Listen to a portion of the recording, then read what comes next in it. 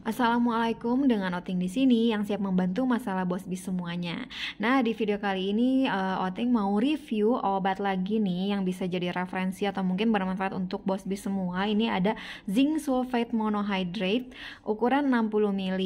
Nah, tapi disclaimer dulu ya sebelum ke reviewnya. Jadi di sini Oting bukan sebagai tenaga kesehatan atau bukan dokter juga. Jadi uh, yang di review di sini yang disampaikan Oting di sini itu berdasarkan yang dibaca dari kemasan obatnya atau yang info dari uh, website kesehatan resmi ya. Jadi di sini ada obat zinc sulfate monohydrate. Ini tuh uh, pelengkap ya. Jadi peleng cairan pelengkap yang diperlukan uh, biasanya untuk pengganti cairan tubuh dan pencegahan dehidrasi uh, di anak ya dan digunakan bersama dengan uh, oral rehydration salt atau kita uh, sebut oralit ya. Jadi selain oralit kalau misalkan lagi diare uh, bisa juga mengkonsumsi zinc sulfate monohydrate karbohidrat ini biar anak gak dehidrasi ya, gak kekurangan cairan tubuh.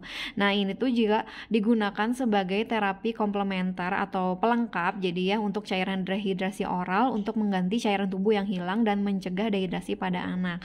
Dia itu komposisinya uh, di sini ya bisa terlihat tiap 5 milinya itu mengandung zinc sulfate monohydrate setara dengan uh, 20 mg zinc ya. Keterangan lengkap katanya lihat brosur tapi saya beli itu nggak ada brosurnya jadi memang dapatnya tuh kayak gini. Saya beli di online. Harganya itu sekitar uh, untuk kemasan ini ya ini kemasan 60 ml itu 8 ribuan. Ada juga yang uh, kecilnya yang drops itu 15 ml aja itu sekitar 6 ribu ya. E, murah sih. Murah banget dan ini e, gampang banget ya dicarinya. Ini sirup ya jadi kayak bentuk cairan bener-bener cair gitu kayak air. Terus ini diproduksinya sama Mepro yang saya punya ini ya Mepro Farm.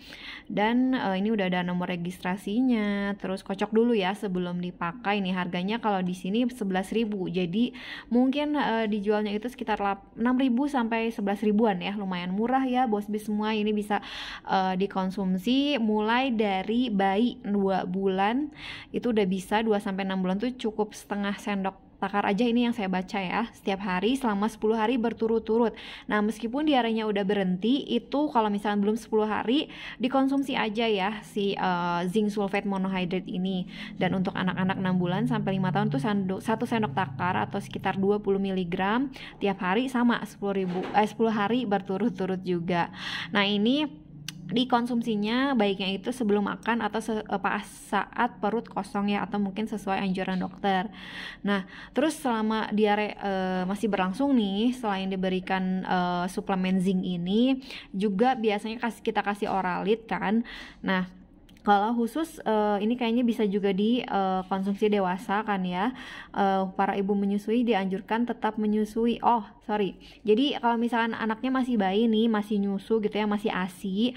Jadi uh, wajib tetap disusui ya atau dikasih ASI. Jadi uh, biar si uh, anaknya tuh ya nggak uh, kekurangan cairan gitu.